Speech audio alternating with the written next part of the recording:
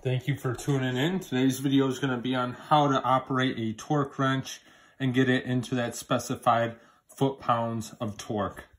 So first and foremost, this is a Craftsman torque wrench. The reason why I'm using it today is because I got new tires and I'm looking to ensure that they're tightened to the correct foot-pounds of torque.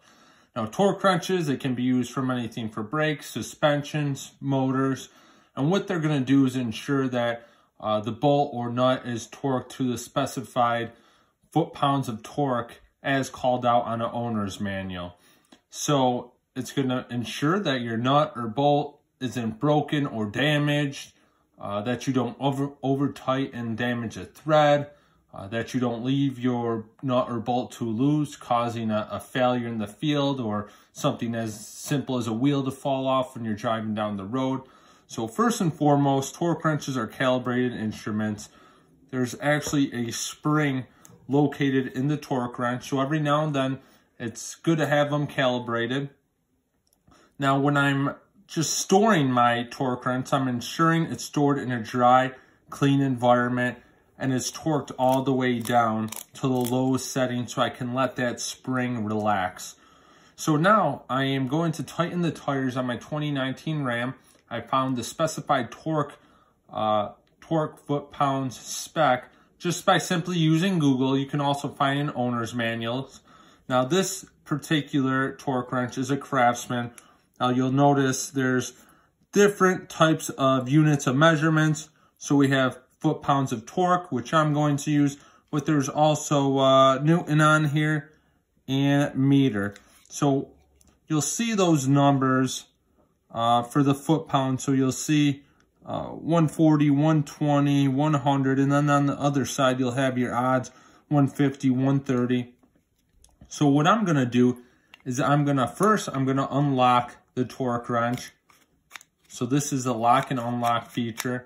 So you're to lock it to lock in that torque spec when you're actually tightening your wheels.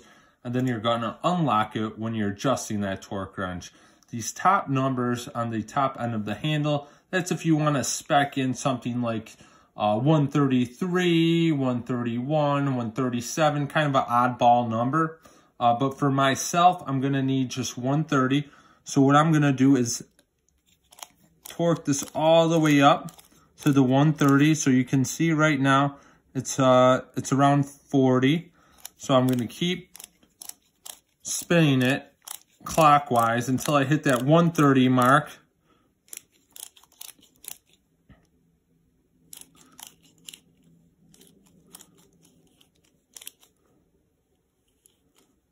Now, once I'm hitting that 130 mark, I'm going to be mindful that I want it 130 even.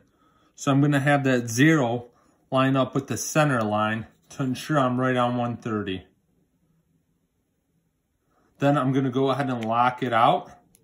And this is going to ensure that my spec is set when I go to tighten the wheels. And then I'm simply going to tighten up those lug nuts. And when I hear a clicking noise, that's going to indicate to me that I've reached 100 foot-pounds of torque, 130 foot-pounds of torque on that nut or bolt. So hopefully you found this useful. Uh, torque wrench is a very important instrument to use to ensure that, you know, your wheels, your motor mounts, your suspension, your brakes are all torqued to the specified setting so they so they work as they should.